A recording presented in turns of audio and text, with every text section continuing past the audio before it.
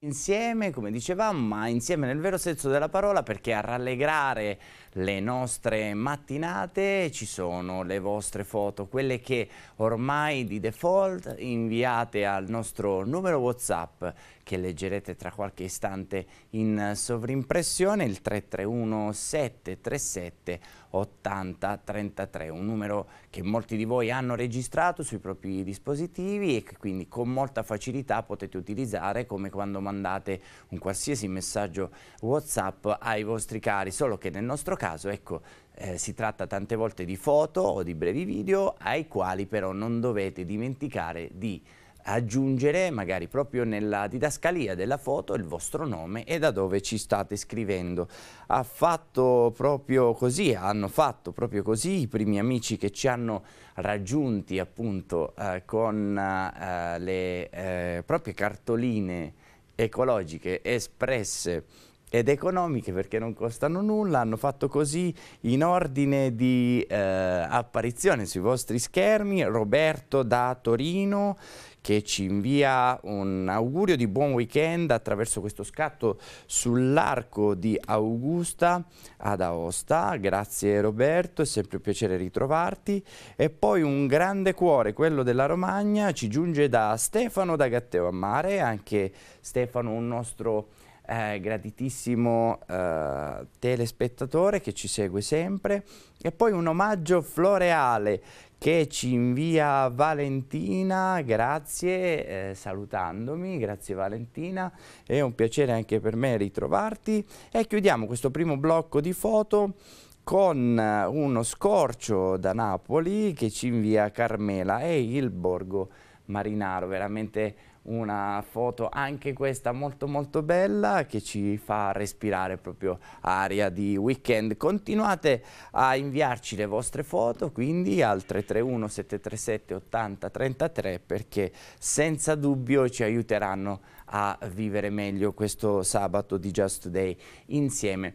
Come dicevamo in apertura, in premessa, il sabato di Just Today è quello eh, anche di una nostra inviata super speciale, Sor Maria Vittoria, che ci ha accompagnato già qualche settimana fa. Alla scoperta del suo ordine, quello delle Suore Apostole di Gesù Crocifisso e che eh, nelle prossime settimane, lungo ogni sabato, ci farà conoscere appunto quali sono gli altri ordini delle consacrate che vivono intorno a, al mondo di Padre Pio. Però ancora oggi ci soffermiamo sul suo ordine perché con l'intervista alla Madre Superiora Generale Sor Maria Saveria Parmisano ci faranno conoscere il rapporto che è molto particolare che c'era tra Padre Pio da Pietrelcina e il loro fondatore Don Domenico La Bellarte. A te la linea, Suor Maria Vittoria. Buongiorno a tutti, grazie Tony. Ecco, ci troviamo nuovamente nella casa delle suore apostole di Gesù Crocifisso con la Madre Generale, Madre Maria Saveria. Ecco, la volta scorsa abbiamo parlato del nostro fondatore Don Domenico Labellarte e del tuo incontro con lui e, e come è iniziato tutto il tuo percorso, no? E, e questa avventura e, della fon nuova fondazione che nasceva. Oggi vogliamo, eh, vogliamo approfondire un po' questa figura di Don Domenico Labellarte e del suo incontro con Padre Pio, della sua Ehm, della sua amicizia ecco, spirituale, della sua eh, figliolanza spirituale con eh, Padre Pio. Madre, come è cominciato tutto? Come è cominciato questo incontro? Ecco, eh, questo incontro con Padre Pio è iniziato con un fiasco, possiamo dire, che, con una sofferenza che il padre ha provato quale sofferenza? Quella che gli impediva eh, di continuare gli studi per diventare sacerdote. E stando nel collegio Capranica, lui ha avuto eh, un deperimento organico, eravamo durante la, guerra, la seconda guerra mondiale e quindi non riusciva più a sostenere gli studi anche perché fisicamente non, um, non era più forte sia per mancanza di cibo, sia perché abitava in una, in una stanza un po' eh, umida, eh, poco soleggiata e quindi tanti fattori che lo hanno portato nuovamente eh, ad ammalarsi e quindi il rettore eh, del tempo, Monsignor Solari, disse figlio mio non è per te, torna a casa. E quindi questo grande dolore eh, lo ha accompagnato, ha preparato tutte le sue valigie, ha preso il treno con tutte le valigie da Roma fino, fino a Bari, perché lui è nato a Valenzano, provincia di Bari, e nel, nel percorso si ricorda di Padre Pio. L'avevamo un po' detto l'altra volta di questo. Ma quando arriva da Padre Pio, lui eh, era il 2 febbraio, oggi celebriamo la giornata per la vita consacrata, il giorno della presentazione di Gesù al Tempio. E lui piccolo piccolo si sentì un po' presentato eh, al Tempio nella persona di Padre Pio. E nella confessione gli disse Padre sarò sacerdote, sarò missionario e Padre Pio che lo guardò, lui dice, il nostro padre Don Domenico, aveva visto degli occhi bellissimi, profondi, intensi, che l'hanno guardato fino in fondo e gli hanno detto sì, sarai sacerdote e sarai missionario. Gli dai consigli, vai a casa, curati, prendi questo, mangia la frutta e poi fra due mesi torna in collegio. E così avvenne.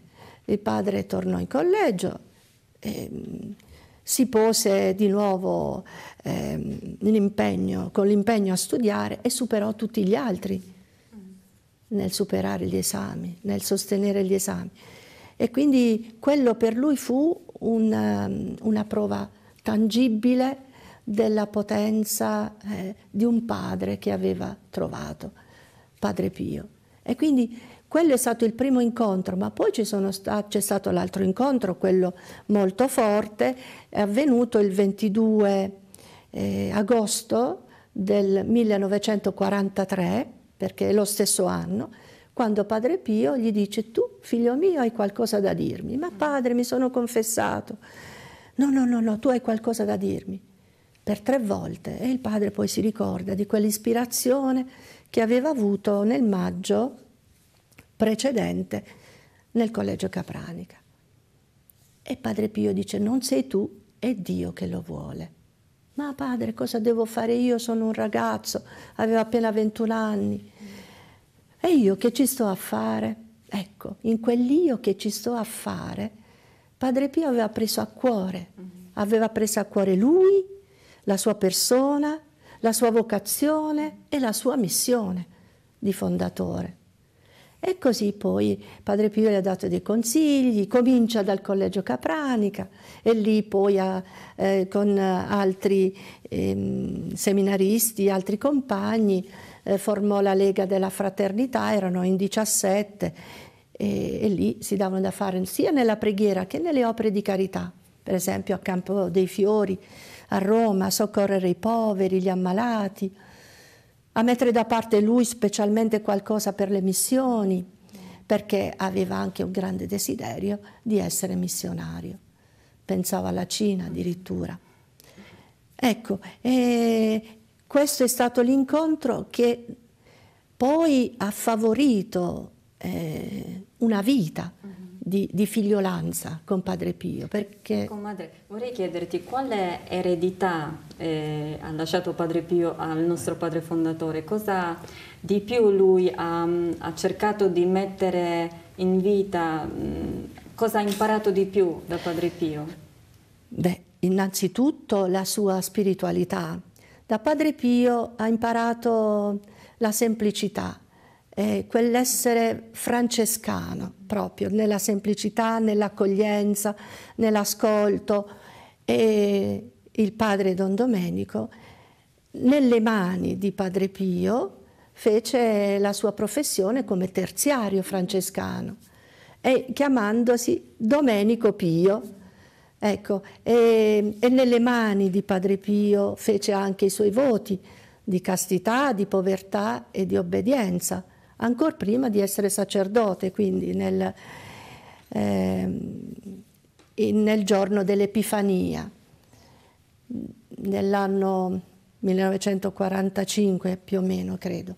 Ecco, e, e cosa ha imparato? Ha imparato ad amare di più Gesù crocifisso, ad amare di più soprattutto il sacerdozio, a vivere il sacerdozio, da Padre Pio la Santa Messa, ma anche eh, il ministero della eh, riconciliazione. Padre Pio eh, lo ha esercitato in questo anche qui a San Giovanni Rotondo, perché devi sapere che i primi tre anni di sacerdozio il padre eh, li ha vissuti qui a San Giovanni Rotondo. Quindi ha fatto un tirocinio. E cosa perché? faceva quando stava qua San Giovanni? Cosa faceva? Eh? eh? Faceva esattamente quello che gli diceva Padre Pio. Ecco il tirocinio. Padre Pio da buon educatore non solo padre, ma buon educatore. Gli diceva, senti, eh, ci sono i poveri, eh, tu vai a Roma e li mandava da alcuni conoscenti, amici benestanti mm. e prendi tutto quello che ti danno, quindi anche vestiario, cibo, li portava qui a San Giovanni Rotondo e li distribuiva alle famiglie povere, chiaramente che indicava lo stesso Padre Pio, oppure andava eh, dai minatori, nella miniera di bauxite che si trovava giù nelle mattine, vicino Manfredonia, credo, da queste parti, giù dal Gargano. E quindi lì evangelizzava. E poi eh, lo mandava a confessare in paese. Eh, tante persone che non potevano salire oppure perché c'erano troppi, eh, troppe prenotazioni per Padre Pio e il padre confessava lì e anche li, eh, mandava il padre ad assistere eh, le persone malate, eh, le agonizzanti, alcune figlie spirituali, eh, Pio, figlie spirituali di Padre Pio erano assistiti dal padre. Ecco, e, e, infatti proprio qui a San Giovanni Rotondo, quando un bel giorno il padre, padre Pio gli disse Voglio, ma ti vuoi dar da fare? Dice, padre, che cosa devo fare? Sto facendo tutto questo. Ma quando cominci questi istituti, no? queste istituzioni? Cioè, ma io non so come fare, eh, ho difficoltà, non conosco, non so come devo reclutare le anime, che non si tratta tanto di reclutare. E il padre Pio gli diede un segreto. Nella confessione, quando tu senti che viene una persona, no? un'anima, specialmente donne, che, ha, che senti che c'è il profumo della castità, quella è l'anima da legare a Dio, da consacrare a Dio. E così ha cominciato qui a San Giovanni Rotondo, le prime consacrate. Ecco, Padre Pio veramente è stato per lui eh, un educatore, oltre che un padre ma educatore non solo nel, nell'esercizio del ministero sacerdotale, ma un educatore anche eh, per quanto riguarda l'offerta della sofferenza, di non portare eh, profondo il solco del dolore. Ecco, eh, quando per esempio era assalito da tante occupazioni che non riusciva fino a mezzanotte, non riusciva ancora a aver ehm, terminato le sue preghiere eh, d'obbligo. E Padre Pio lo richiamava, metti ordine, perché l'ordine salverà te. Oppure eh, quando eh, lui si lamentava, perché di nuovo in un periodo quando era parroco, eh, di nuovo gli era venuto questo eh, esaurimento, così. E Padre Pio gli disse, voglio, ma tu, tu stai soffrendo? Cioè, pensa a me, no? Voleva dire, tu stai soffrendo, non è stat mortem, non è per la morte, coraggio. Quindi gli ha insegnato anche ad affrontare le difficoltà, um, a saper offrire la sofferenza, come faceva lo stesso Padre Pio, e quindi eh, gli ha insegnato l'umiltà, l'umiltà del confessore. E quale, a mio avviso? Un bel giorno Padre Pio, era il primavera, il 21 marzo, gli disse, mi vuoi confessare Domenicuccio? Padre, proprio io. Sì, sì, proprio tu. E Padre Pio si confessò dal Padre. Anche questo, questa umiltà che Padre Pio ehm, ha voluto ehm, testimoniare, eh, eh, eh, ha inciso nel, nel cuore eh, di, di, del giovane sacerdote, ma anche del, del padre, anche la pazienza e soprattutto la misericordia. Grazie, grazie eh, Tony. Eh, passiamo linea allo studio. Veramente madre, grazie di questo tempo che ci hai dedicato. Grazie a voi e grazie anche a TV Padre Pio per questa occasione che mi hanno dato. Grazie ancora. Molto bella la testimonianza di Sor Maria Saveria Palmisano, Madre Superiora Generale dell'Ordine Apostoli di Gesù Crocifisso e grazie a Sor Maria Vittoria per questo suo impegno con Padre Pio TV. Siamo veramente felici e curiosi di scoprire poi settimana prossima quale sarà il nuovo ordine di consacrate che ci farà conoscere. Ora ci fermiamo soltanto un attimo ma ritorniamo subito insieme.